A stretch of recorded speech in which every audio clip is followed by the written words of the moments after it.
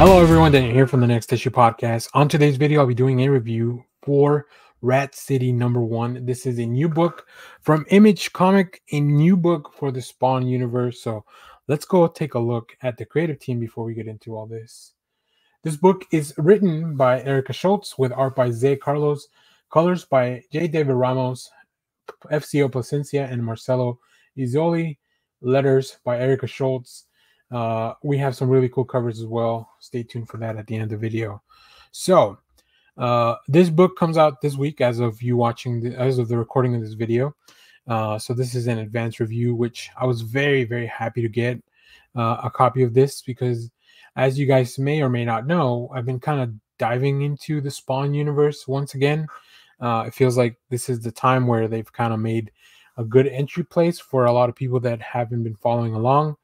Uh, and interestingly enough, this story, although separate from everything that's going on, it definitely does tie back and have its uh, origins because of all the events that just happened on the main Spawn series. So that's really cool.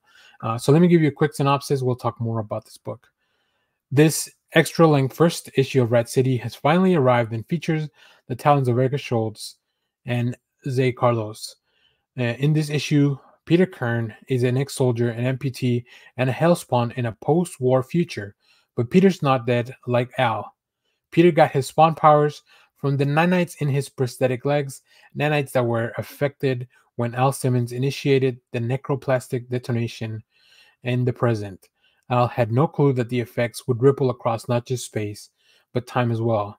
So, yeah, this is a future story in the Spawn universe which is really cool. I went into this without knowing, like I hadn't read the synopsis, I hadn't really read, read anything on it, and I don't think it's a big spoiler. I think once you go back and I kind of put all the pieces together, you look at the cover, it does look very futuristic, right? Uh, which I think it's like something I had kind of a detail that I kind of had missed. Uh, but I was wondering, like, you know, who is this uh, new Hellspawn? What what is their deal? And that's kind of what we're seeing here. So very cool premise for sure.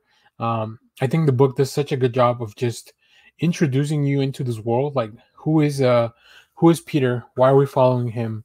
And how all this stuff, like how he comes to this great power. It was interesting that throughout most of the issue, this doesn't even feel like you like a spawn deep lore type of book. Uh, it just feels like this really cool adventure uh, that you're following this character. Tragedy befalls, uh, and we kind of go from there, right?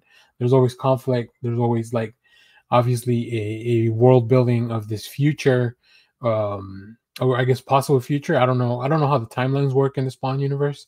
Uh, I don't know how malleable they are, but yeah, very cool stuff. Uh, also, Zé Carlos' art is fantastic. Let's go take a look at some of the preview art here. As you can see here, I just love the paneling and the pacing. Some of this stuff really works. I like the the point of view of these characters. Uh, great designs. I like the little, uh, uh, especially those little touches of red. They really pop right off of the page. That's just like great, great coloring. And and of course, in a future, you have to make it look like you have to make this world feel and look like the future while still making sure that it feels and looks like a spawn book. Uh, and I think the team manages that right. These uh the headgear, the armor, like it just gives 90s image but definitely updated for a contemporary and also futuristic time. Uh, and I, as I mentioned, it, it's a lot of action. It's a lot of world building. Uh, so this is definitely a dense, dense first issue. Uh, as I mentioned in the synopsis, it is extra size, so you're getting a lot of bang for your buck there. Uh, but yeah, this was very, very cool. Really interested on how this is going, so I'm gonna keep checking it out my journey into the Spawn universe continues, and this was really really fun stop. Uh, so, if you have read this book, let me know what you thought about it down in the comments. As always, thank you for watching, everyone. Remember to share, like, subscribe, hit the bell so you know when we go live. That is most Saturdays, 10 a.m. Central Standard Time. Stay tuned. We have more comic reviews, trailer reactions, TV recaps, all that fun stuff here in the channel. Thanks for watching, everyone. Bye bye.